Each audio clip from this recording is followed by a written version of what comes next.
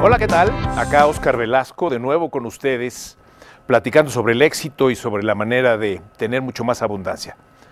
Como ya saben, en mi libro El éxito es una habilidad que se aprende, pues es un manual para tener éxito. Y uno de los temas que quiero abordar en esta ocasión está relacionado con que el éxito requiere que la gente tenga una capacidad de ser enseñable. Existe un concepto llamado el índice de enseñabilidad que te quiero compartir, que consta de dos variables. La primera, la voluntad de aprender, que es cuando una persona está dispuesta a aprender, que está abierta a aprender. En esa voluntad de aprender, podríamos calificarse uno del 1 al 10 como 5, 9, 8, 7. ¿Qué tan dispuesto estás a educarte? Tu voluntad de aprender. Hay gente que no tiene ganas de leer, ni de estudiar, ni de ir a seminarios, ni eventos, entonces su voluntad de aprender está muy atrasada. Y eso implica a veces hacer un sacrificio de tiempo, un sacrificio de dinero, para poder disponer de ello y dedicarse a su educación. Pero la otra variable, que las vamos a combinar al final, es la voluntad de cambiar.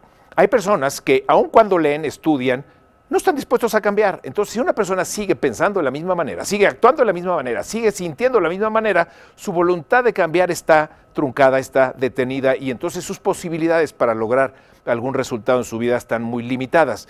Una persona le dice, por ejemplo, su, su médico, que para bajar de peso tiene que dejar cierto tipo de comidas y dice la persona, no, quítenme todo menos eso. Bueno, pues esa persona tendrá muchas ganas de cambiar, pero si no está dispuesta a cambiar ciertos hábitos que la tienen atrapada y que no la dejan prosperar en su vida y que la tienen o con sobrepeso o con algunas enfermedades, pues entonces esa persona su índice de, de, de enseñabilidad es muy baja porque su voluntad de cambiar al mismo tiempo es muy baja.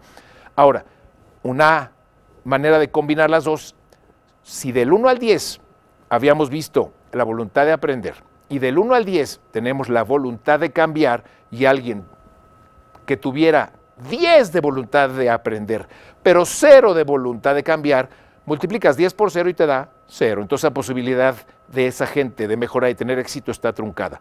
Por otro lado, una persona que tiene 5, por ejemplo, de voluntad de aprender y 5 de voluntad de cambiar, 5 por 5, 25, bueno, ya está en el proceso, pero le falta tantísimo. ¿Cuál es lo ideal? Tener una voluntad de aprender de 10 y una voluntad de cambiar de 10, porque si multiplicas 10 por 10 son 100, entonces esa persona tiene su éxito asegurado y su vida va a ir en crecimiento constante todos los días y todo el resto de su vida.